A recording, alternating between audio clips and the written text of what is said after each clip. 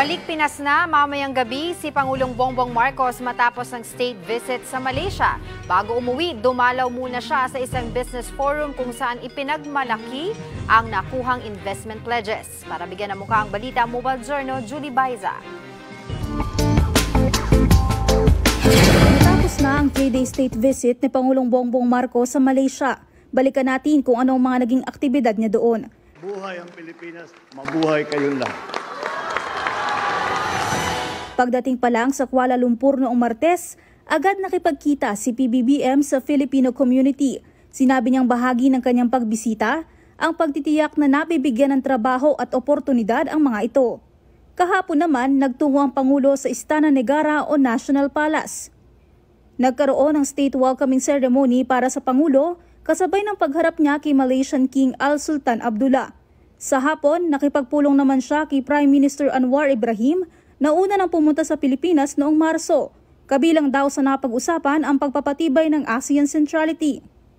We also agreed that we can explore not only multilat not only along multilateral lines all of the issues that are facing us in the region, but also uh, that there is use as well, there is utility as well in us promoting a bilateral relationship, especially between Malaysia and the Philippines, and uh, our other partners in, in ASEAN.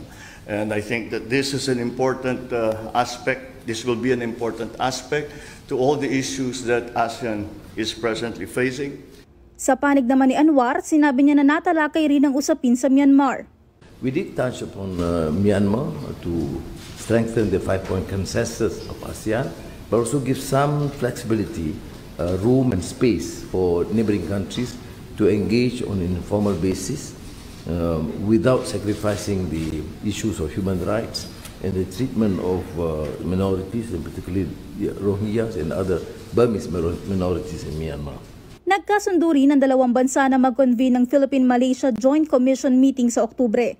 Pag-uusapan dyan ang iba't ibang areas of cooperation gaya ng turismo, agrikultura, digital economy at transnational crimes. Huling ginawa ang Joint Commission meeting dito sa Pilipinas noong 2011.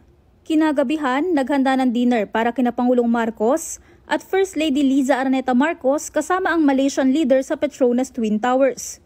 Ngayong araw naman, bago umuwi ng bansa, dumalo si Marcos sa Philippine Business Forum sa Kuala Lumpur.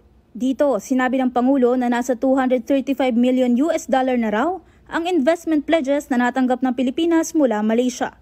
Mobile Journal Julie Baiza, hatid ang mukha ng balita.